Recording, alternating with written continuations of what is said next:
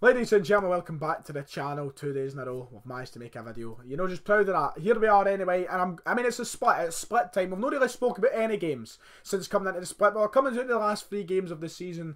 Why not preview the matches? We're at a time now where Celtic can secure the title. They're big games. I really should have done it for the Hibs game. Uh, I really should have done it for the game last week against Kilmarnock as well.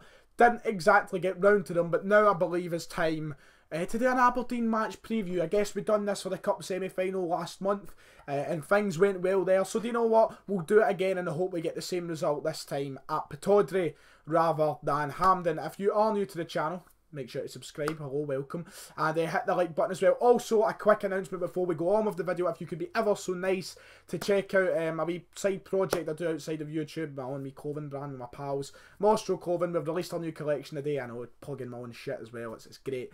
Um, the, the link will be in the description. It's all new stuff I've released today. It's really cheap and affordable. Um, it's just a wee side project. Something that we hope takes off in the future. So please, I urge you all um, to check the, the, the top comment be pinned and the, the description below where you can find find a link to that. Anyway, what you're all here to see is um, me talking about Celtic. I guess that is the, the reason you've clicked on this video to talk about the Aberdeen match this Sunday. Also, very quickly, if you want to see match previews, maybe match reviews, especially previews for every game next season, then let me know if that's something that you want me to do in the, the, the comments below. Next season, obviously, will be a very competitive season. It'll be a new look for Celtic, new manager maybe. Um, a lot of things will be changing, so it'll be interesting heading into every, game with different perspectives and such.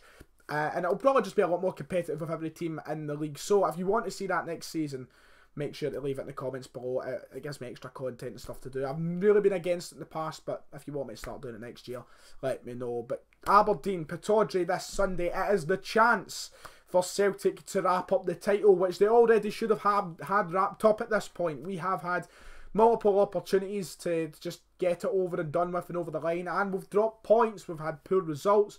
I guess Rangers on the other side have done well and, and getting wins in their matches and such.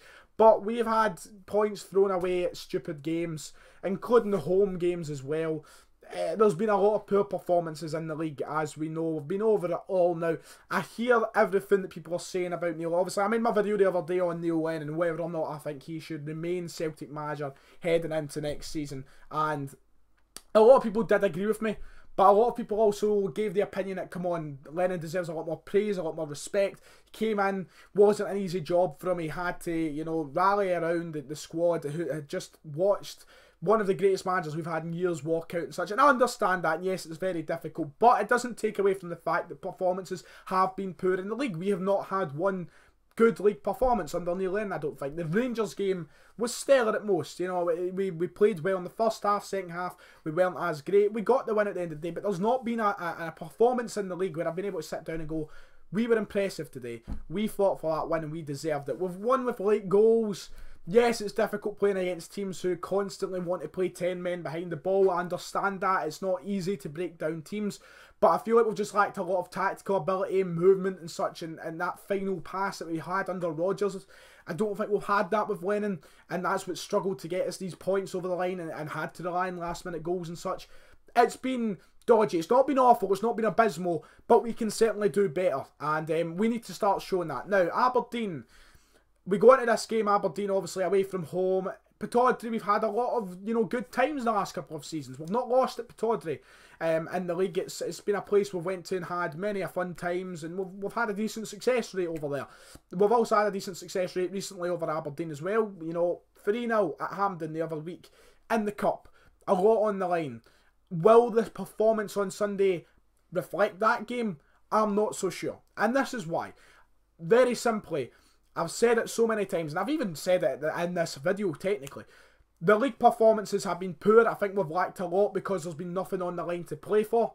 And we've just been kind of trying to get over the line. Whereas in that League Cup game, players are going into it knowing treble, treble on the line. We need to get to the final.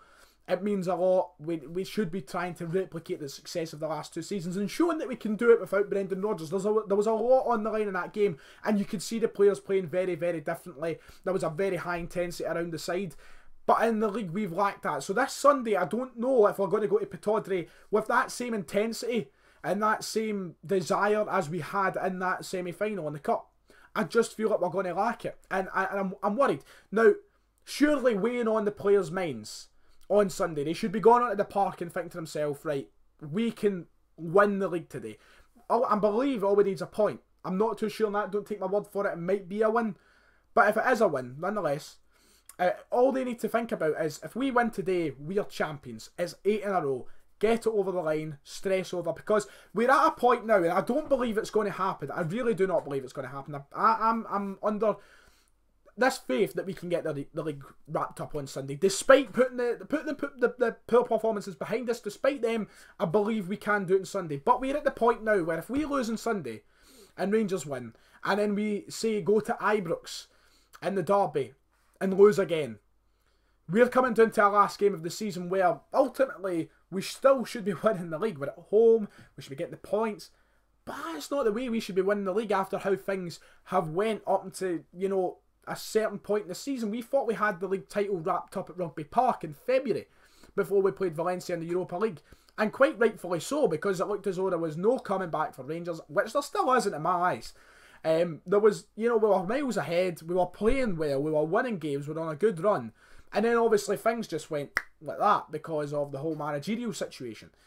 Uh, and now we're at a point where we could genuinely be looking at a last day decider for the title, which is which is bonkers to me. It's madness. So this Sunday, weighing on every single player's mind should be let's just get this title wrapped up so we can go to the derby. Hopefully, Rangers morale's down, get a win there, get through the last game of the season, and then go to the cup final at Hampden and secure the treble treble. That should be the thoughts on every player's minds coming out to this game on Sunday. Let's just get the league title wrapped up. And it's why I'm expecting us to ultimately go out on Sunday and win despite the poor performances.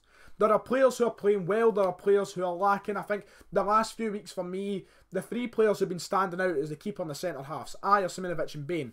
Those three, they've got they're like they're the unit in the team just now. And, and it's and it's weird to say that right now our centre halves are our best players because for years for years we've been crying about how bad our centre halves are. We need to improve the centre halves, and we've been talking about how good our forwards are. You know, we've had we've had Dembele, Griffiths, Edouard, we've had Sinclair over on the left, Forrest on the right. We've been talking about how good our forwards is, but we're just not producing at the minute, heading up the park.